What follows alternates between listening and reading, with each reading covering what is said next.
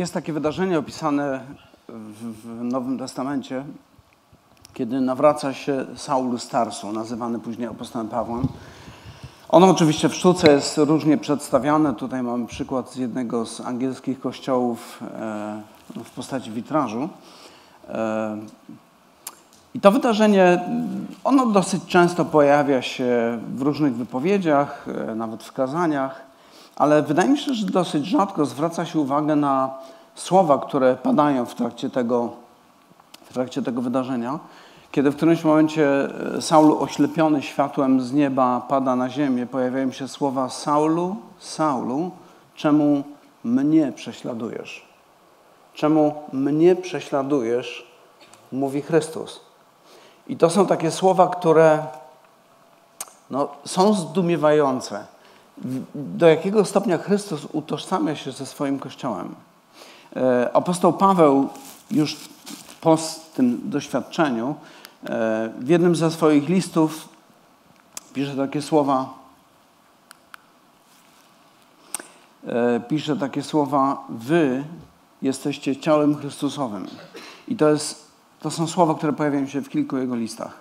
To doświadczenie, kiedy spotyka żywego Chrystusa, który widząc Saula prześladującego Kościół, mówi: Saulu, czemu mnie prześladujesz?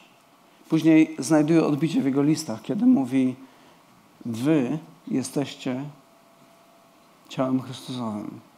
Innymi słowy, możemy powiedzieć: Kościół dzisiaj, tak samo jak w pierwszym wieku, jest obrazem Chrystusa na świecie. Kościół, wspólnota Kościoła, ludzie tworzący tę wspólnotę są obrazem Chrystusa wobec świata. Szczególnym przypadkiem takiego, e, takiej wspólnoty jest oczywiście małżeństwo.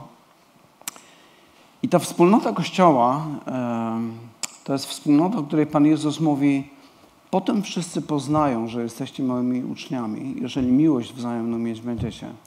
Albo kiedy modli się w arcykapłańskiej modlitwie, mówi, modli się o to, żeby również oni byli jedno, tak jak my, Ojcze, aby świat uwierzył, że Ty mnie posłałeś.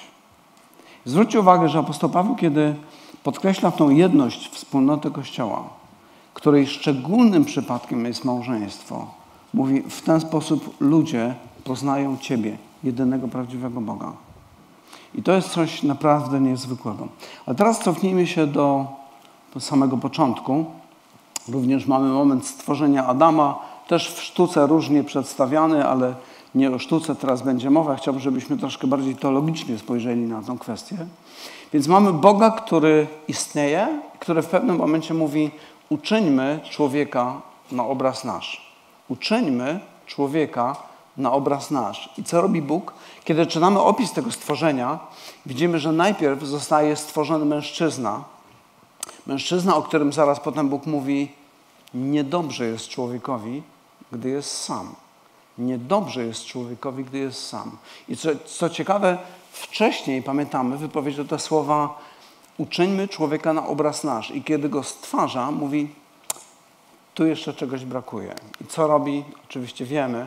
Bóg stwarza kobietę, która jest e, no jakby dopełnieniem e, tego obrazu Boga w Adamie, jest ukazaniem czegoś, czego sam Adam nie był w stanie pokazać.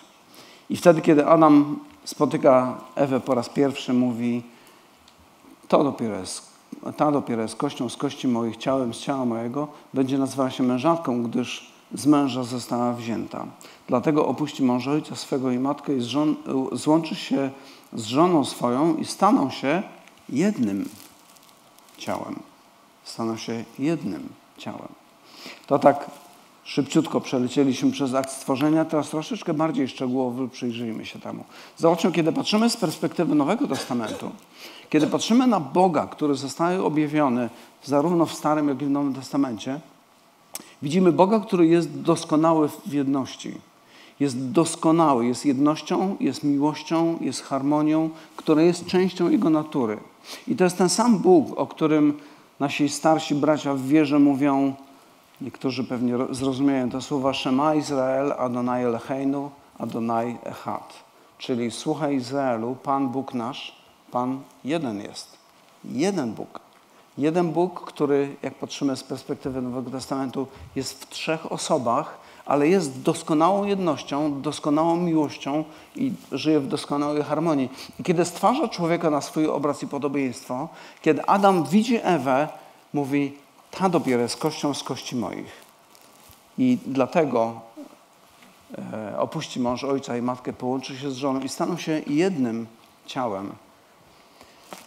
Kiedy patrzymy przez pryzmat Nowego Testamentu, znowu widzimy słowa Jezusa, który mówi: Ja i Ojciec jedno jesteśmy. Ja i Ojciec jedno jesteśmy. I ten Bóg, trójosobowy Bóg, w Trójcy Jedyny, stwarza mężczyznę i kobietę. Stwarza mężczyznę i kobietę, stwarza pierwszą wspólnotę. Ludzi, którzy mają ten sam potencjał, który ma Bóg. Potencjał do tworzenia czegoś nowego. Potencjał do dalszego rozwoju, do dalszego pomnażania. E, niestety znamy tą historię, wiemy, że pojawia się bunt, pojawia się grzech, pojawia się zniszczenie, który niszczy nie tylko tą więź z Bogiem między mężczyzną i kobietą, ale również między nimi samymi. I jak wiemy z doświadczenia, chyba najbardziej cierpią na tym dzieci. Zrobiło się naprawdę nieciekawie. I tutaj może jeden cytat człowieka, który obserwując to wszystko, człowiek z XX wieku, publicysta, filozof trochę, Malcolm Magridge mówi takie słowo, jeżeli Bóg umarł, ktoś musi zająć jego miejsce. Będzie to albo megalomania, albo erotomania.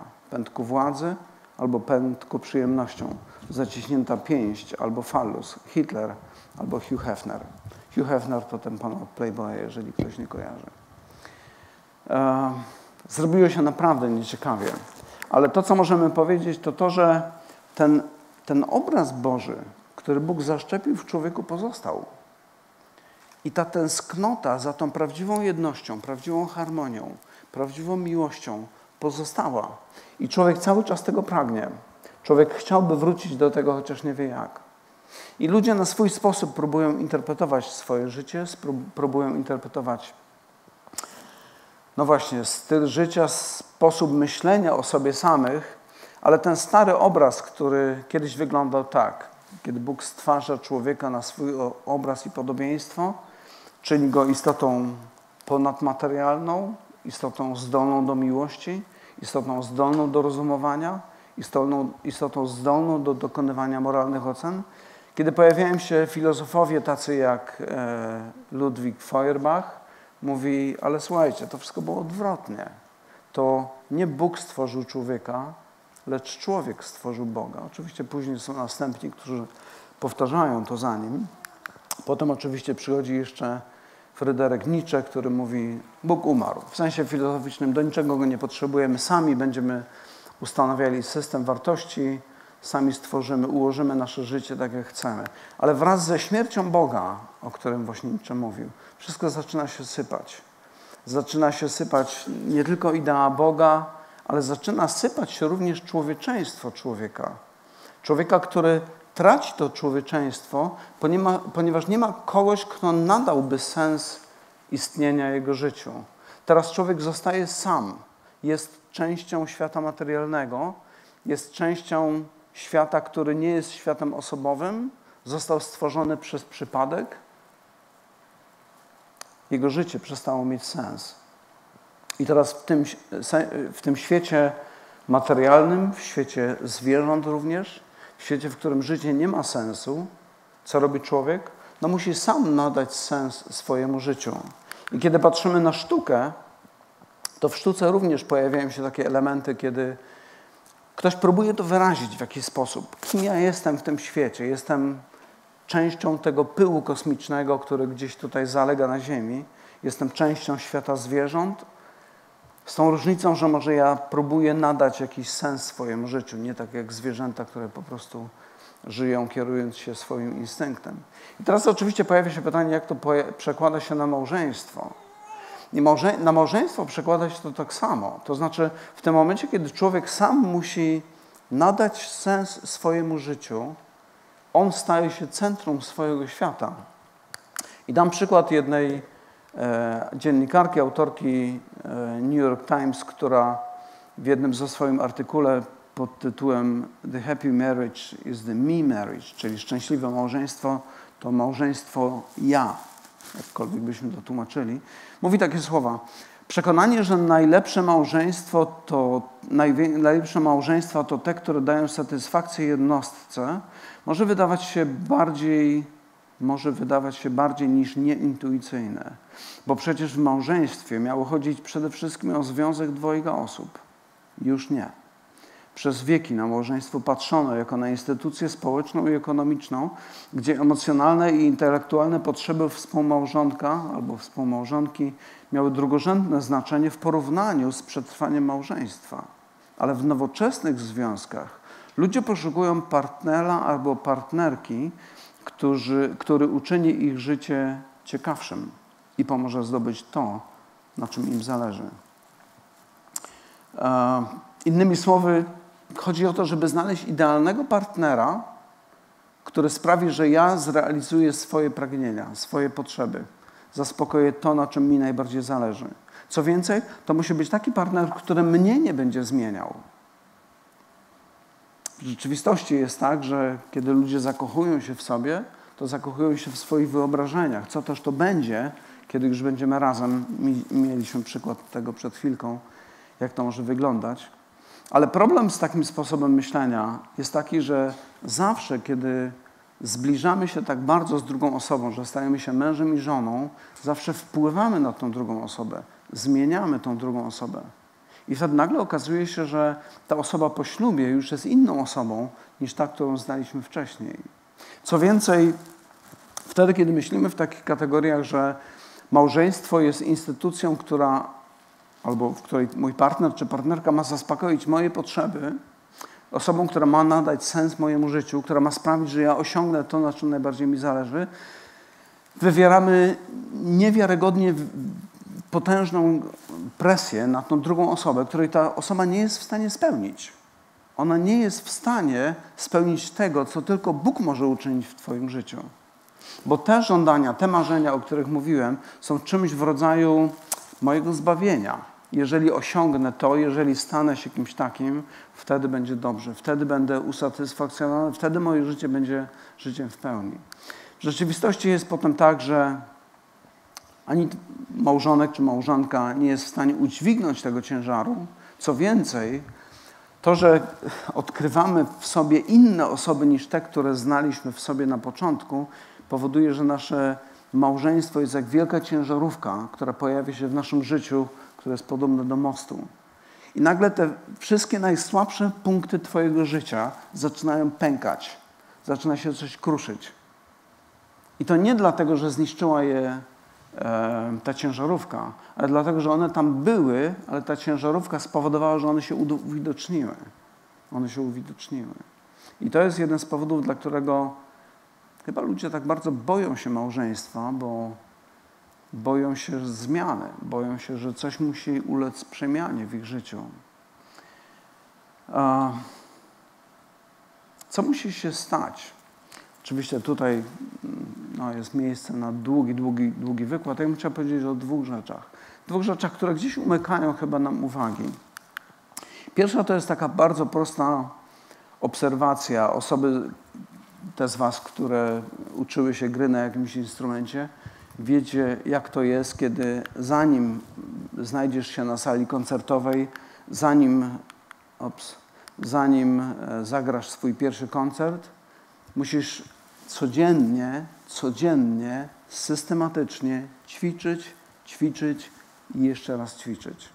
Jeżeli chcesz być sportowcem, który osiąga jakieś sukcesy, musisz codziennie, systematycznie ćwiczyć, ćwiczyć, ćwiczyć. Zobaczcie, że osiągnięcie naprawdę wysokiego poziomu, czy to w sporcie, czy w muzyce, czy w jakiejś innej dyscyplinie, wymaga dyscypliny, wymaga wysiłku, wymaga wytrwałości. I tak samo jest z małżeństwem, które jest czymś o wiele bardziej skomplikowanym, o wiele trudniejszym. Ono również wymaga wysiłku i wytrwałości. Kiedy e, przygotowałem ten wykład, zapisałem sobie takie rzeczy. Małżeństwie potrzebne jest przebaczenie, wyznawanie grzechów, łaska i szacunek. I widzieliśmy to przed chwilą, jak to wyglądało właśnie w tym przykładzie. To są, To są elementy, które tak naprawdę budują małżeństwo. Właściwie one tworzą grunt, na którym wyrasta prawdziwa miłość małżeńska. To, co pojawia się zanim staliśmy się małżonkami, to jest jakaś taka fascynacja tym, że ktoś się mną zainteresował. I tak naprawdę nie mamy tu do czynienia specjalnie z miłością, co bardziej z fascynacją tym, że stałem się w centrum czyjejś uwagi. Uwagi kogoś, kto jest atrakcyjny, kto jest ładny, przystojny, elokwentny, może ma jakieś jeszcze inne rzeczy. Ale prawdziwa miłość, prawdziwa miłość pojawia się wtedy, kiedy ten grunt, na którym ona ma wyrosnąć, jest, no niestety, ale przesiąknięty łzami, wyznawaniem grzechów, przebaczaniem, okazywaniem sobie łaski, okazywaniem sobie szacunku. Wtedy pojawia się miłość, której nic nie jest w stanie zmienić. Co więcej, to właśnie jest ta miłość, którą widzimy u naszego Boga, u Chrystusa, który, którego postawa w stosunku do nas jest tak bardzo, bardzo inna. I tu jest e, ten drugi element, o którym chciałem jeszcze powiedzieć. Nie można być filantropą, jeżeli nie masz do tego środków. Trudno jest być osobą, która poświęca się i naprawdę oddaje, tak jak matka poświęca się swojemu dziecku, które nic jej nie daje w zamian. Ale jeżeli ma kochającą rodzinę, to jest w stanie dać naprawdę wiele. Ale miłość, która powstaje pomiędzy taką matką i dzieckiem, jest miłością nieporównywalną z niczym. I tak samo myślę, że jest z małżeństwem. Każdy z nas potrzebuje pewnego zasobu, pewnego potencjału, którego potrzebujemy do tego, żeby zbudować małżeństwo, które buduje się na łzach, na przebaczeniu, na modlitwie, na przepraszaniu itd., tak itd. Tak I gdzie znaleźć, gdzie znaleźć taki fundament? Jedną z rzeczy, o której mogę też chyba z własnego doświadczenia powiedzieć, ale też słyszeliśmy to w tej historii, to jest takie doświadczenie, które myślę, że wielu z Was też podzielacie, że małżeństwo powoduje, tak jak ta ciężarówka, że we mnie odkrywam te pęknięcia, które w praktyce, no właśnie, to polega na tym, że odkrywam swój własny egocentryzm, skłonność do kłamstwa, skłonność do gniewu, do złości, do zazdrości. Co może być tym, co może, co może dać Ci siłę do tego, żeby na, w takich warunkach mogła mimo wszystko wyrosnąć miłość? I myślę, że odpowiedź jest w tym, co widzimy w Chrystusie. E, w liście do Rzymian apostoł Paweł mówi takie słowa, że Bóg daje dowód swojej miłości ku nam przez to, że kiedy byliśmy grzesznikami, Chrystus za nas umarł. Nie wtedy, kiedy byliśmy fajni. Nie wtedy, kiedy byliśmy grzeczni, mili, uprzejmi, dobroczynni i jeszcze jacyś inni. Ale wtedy, kiedy byliśmy grzesznikami, Chrystus za nas umarł.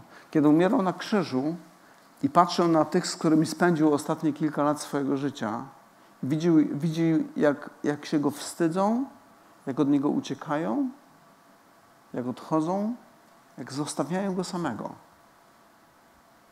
On się nie cofa. On pozostaje. Pozwala, żeby go zabito. Ponieważ tak wygląda prawdziwa miłość, która jest pełna poświęcenia. I umarł nie dlatego, że byliśmy kochani, ale po to, żeby uczynić nas kochanymi w oczach Boga. Nie dlatego, że byliśmy kochani, ale po to, żeby uczynić nas kochanymi. I jeżeli tą prawdę pojmiesz, jeżeli ta prawda nawet gdzieś z tej sfery intelektualnej przejdzie gdzieś głębiej do Twojego serca i przemieni Twoje serce, znajdziesz źródło siły do tego, żeby budować małżeństwo, które czasami trzeba budować na gruzach, tak jak tej historii przed chwilą. I dopiero w tej sytuacji będziesz potrafił powiedzieć do swojego małżonka czy małżonki: Zraniłeś mnie, ale wiem też, ile Bóg mi wybaczył, kiedy ja go raniłem. Dlatego potrafię Ci przebaczyć. Dlatego chcę, abyśmy odbudowali nasze małżeństwo. I małżeństwo odbudowane na takim gruncie, Małżeństwa, które za wzór przyjmują Chrystusa, który oddaje wszystko. I to nie dlatego, że zasłużyliśmy. To są małżeństwa, które są odbiciem tego, co widzimy w naturze Boga, który zawsze daje. Zawsze daje. I kiedy widzi swoje stworzenie, pogrążające się w coraz większym grzechu, w coraz większym upadku, co robi prawdziwy Bóg? Mówi, jego syn mówi, ja umrę za nich. I to jest fundament, na którym można zbudować coś, co jest w stanie przetrwać najgorszą burzę, najgorszą sytuację. Jeżeli chcielibyśmy sformułować Ewangelię w taki może trochę nowy sposób, chciałbym zacytować e, zdanie, które już kiedyś e, niektórym osobom cytowałem. Pewien pastor Jack Miller mówi takie słowo: rozchmurz się. Jesteś gorszy niż ci się wydaje, ale w Chrystusie jesteś bardziej kochany niż potrafisz to sobie wyobrazić. Jesteś gorszy niż ci się wydaje, ale w Chrystusie jesteś bardziej kochany niż potrafisz to sobie wyobrazić. I małżeństwa, które na tym budują, stają się obrazem tej doskonałej miłości, harmonii, jedności, która jest w Bogu. Małżeństwa, które budują wspólnotę Kościoła w oparciu o tę zasadę, stają się świadectwem tego, jaki jest Bóg. Bóg, który zawsze się poświęca. I na koniec cytat mojego ulubionego autora, który mówi takie słowo: Małżeństwo jest bolesne i piękne ponieważ jest odbiciem Ewangelii, która jest jednocześnie bolesna i piękna. Ewangelia pokazuje nam Boga, który wie o nas wszystko. Wie wszystko. Wszystko. Ale jednak jest gotowy przebaczyć. Jest, jest gotowy oddać życie, żeby nas ratować. I to jest fundament, który jest w stanie pomóc nam zbudować silne, zdrowe małżeństwa, ale jednocześnie jest odbiciem tego, jaki jest nasz Bóg. Jest odbiciem Jego natury. Dziękuję.